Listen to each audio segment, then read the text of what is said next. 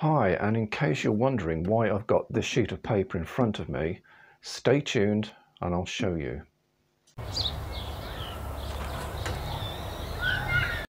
No, it's not an origami thing. It's actually a very brief illustration of how books are traditionally made.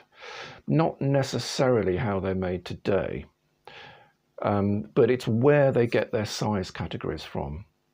You have to imagine what an original printing press would have looked like. Well, actually, you don't, because here's a picture of one.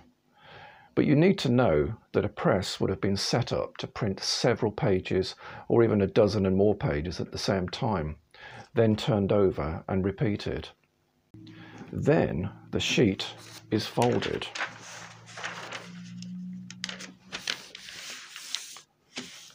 And folded again.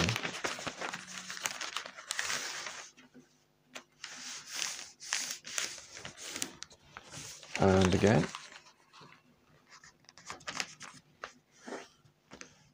Now they may be folded smaller than this, but we'll leave it at this size just for illustration purposes. These folded sheets are called gatherings and they're placed together, helps enormously if they're actually placed in the right order, and then they're sewn together Without going into all the various intricate stages of the craft of bookbinding, the gatherings are then attached to the cover, traditionally in, well, sometimes wood, um, but then most mainly leather or cloth. So depending on how many times this initial sheet is folded, the book takes its size, and like so many literary terms, it's in Latin. Put simply, for like everything to do with books, there are deviations. But one folded sheet becomes a folio, folded again, quarto, then octavo, which is this size, and so on, right down to 64 leaves. Imagine how small that, that will be. The sizes all having Latin names, and some of them are actually quite unpronounceable. But they are not definitive sizes. An octavo book, for instance, will be eight or nine inches tall, give or take a bit. Well, why so, I hear you ask? Well, it's simply because the sheet of paper you start off with determines the size. And that, of course, is dependent on the size the paper mill chooses to make the original sheet of paper. That trade is very different nowadays, of course, but book sizes still follow the traditional rules. So if you look carefully at an oldish book like this one, and find the middle of one of those gatherings, you'll see the threads holding all in place. This one here, this one here, and here. Let's just show you close up there. Just get a paper knife underneath it. Just there, that's it.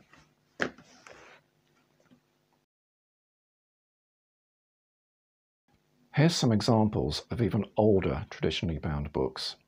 This one is 1714, made exactly in the way that I've just described.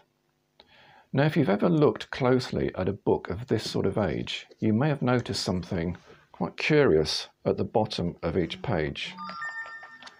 If you look closely, there's a word printed just below the bottom margin of every page. There's one here,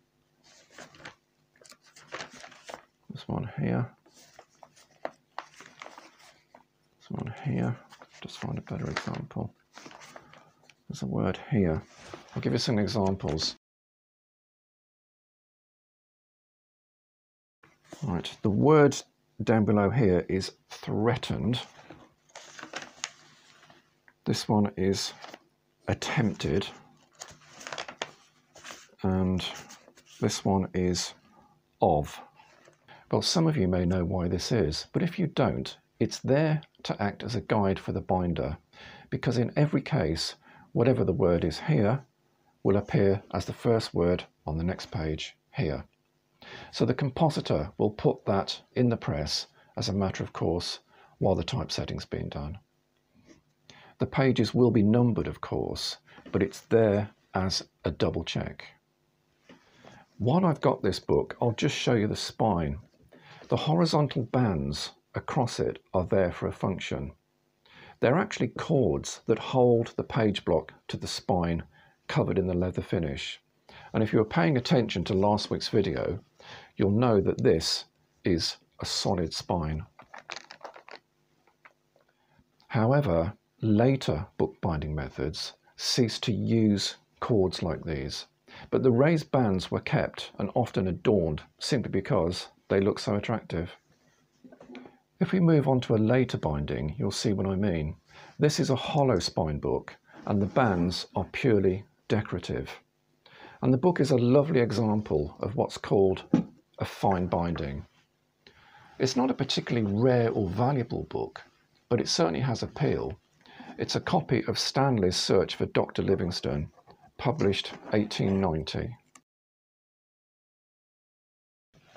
And this is actually described as a new and cheaper edition.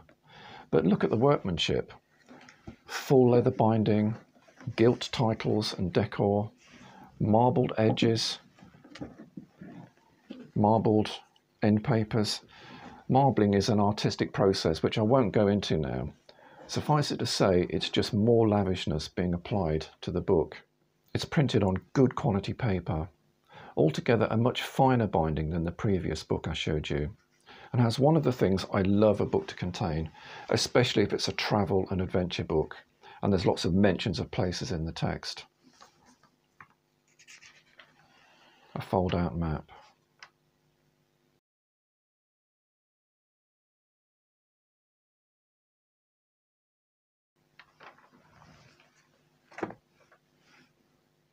In its day, the price of a book like this would have been way out of the reach of an ordinary person, probably more than a month's wages.